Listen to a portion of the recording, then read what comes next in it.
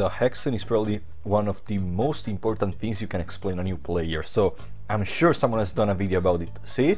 Even the game developer has done one. Let's take a look at it. Oh wait, this is from Termina, not from the first game. Close, close, close, close! okay, so no one has made a video about it, so I'm gonna do it. This is how does the Hexen work and the god affinities.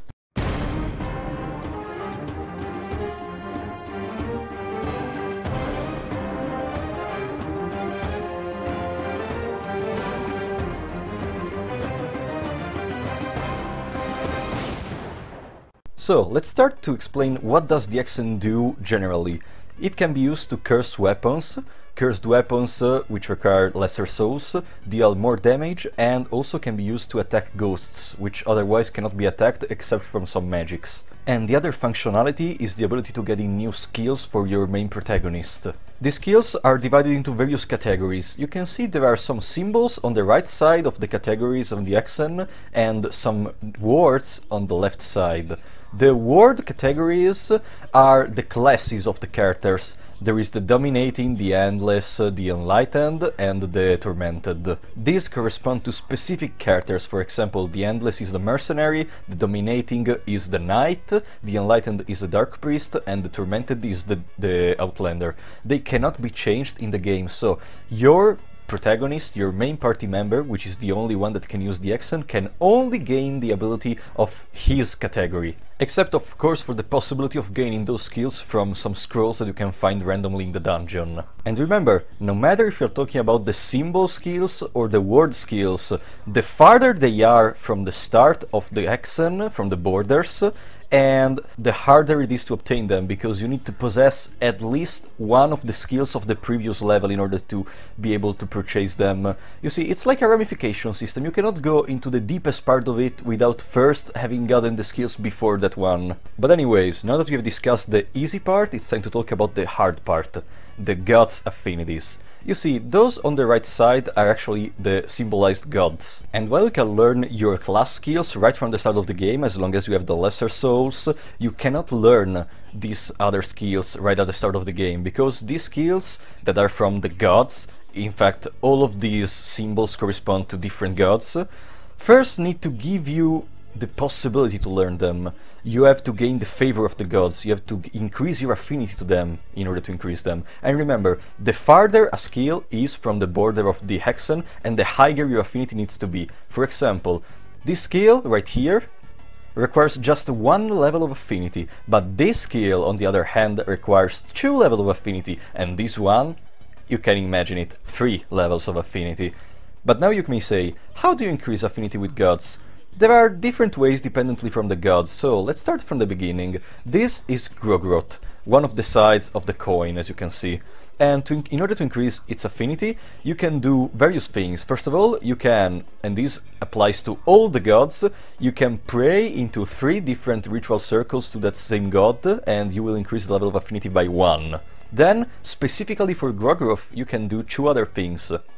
First of all, you can feast with the wolf masks in the infested part of the mines if you want, and that will give a full level of affinity by itself.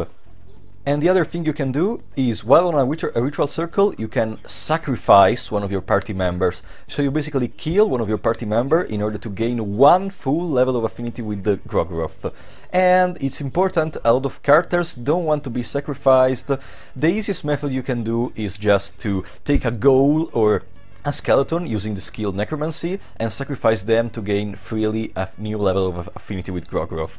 Oh, important, after you sacrifice someone, you cannot use that circle to pray anymore, so if you want to pray to a god on that specific circle, better do it beforehand.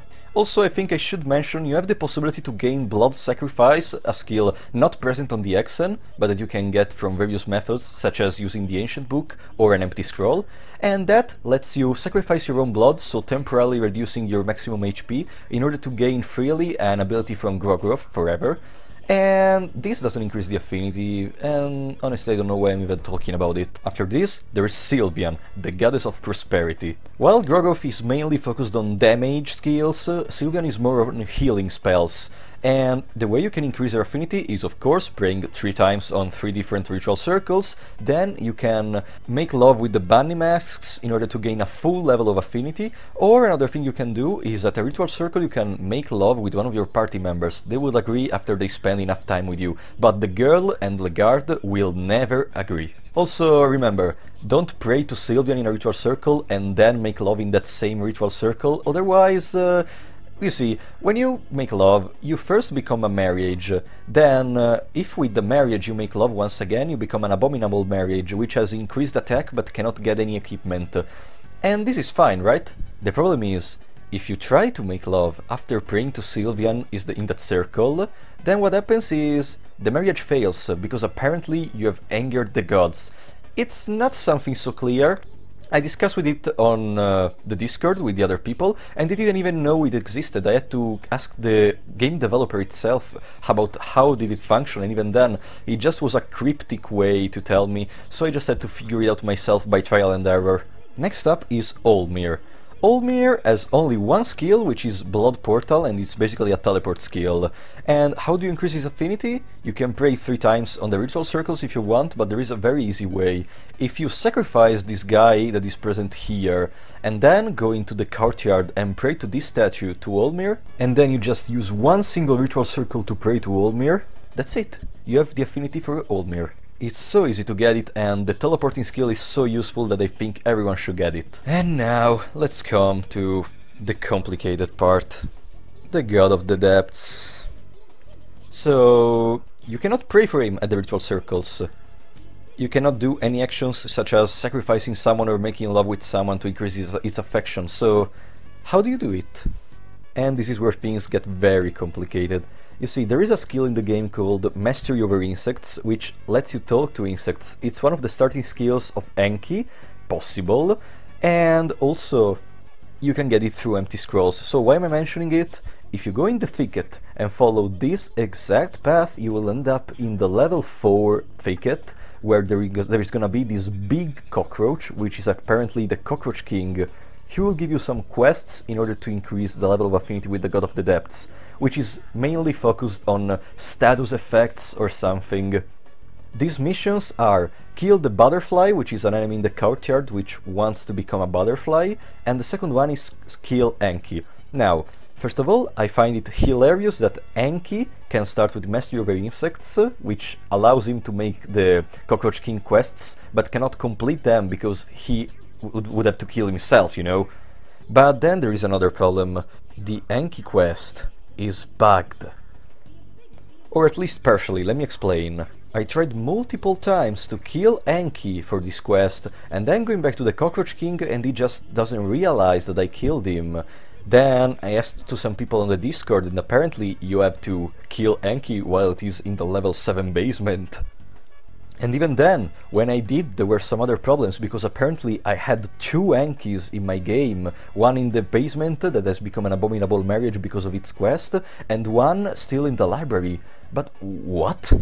And then we can add to the mix something else. There is actually a place in which you can pray to the God of the Depths, in the past Mahabre, but why? Why only one place? I spent two hours going around Mahabre and asking on the Discord if there were other places in which you could pray to the God of the Depths, and apparently no one knows about them. What? So if you want to go for the affinity level 2 with the God of the Depths, I would suggest uh, killing Enki in the level 7. Don't kill him in the entrance uh, or whatever, in the upper parts of the dungeon, because it doesn't work. The Cockroach King doesn't understand he died. Okay, after some time researching the game files, I was able to discover that there is a way to increase the affinity with the God of the Depths, and it's actually cat counted. You cannot access it, it's outside of the map. There is no way to get it, and I spent so much time trying to search for it in-game, and I just had to go into the game files.